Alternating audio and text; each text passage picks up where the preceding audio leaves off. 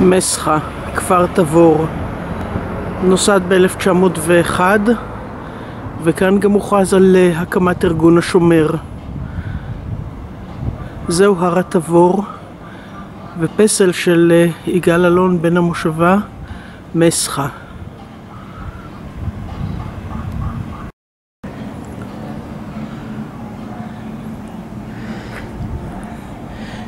מושבה חקלאית וכאן מוצגים חלק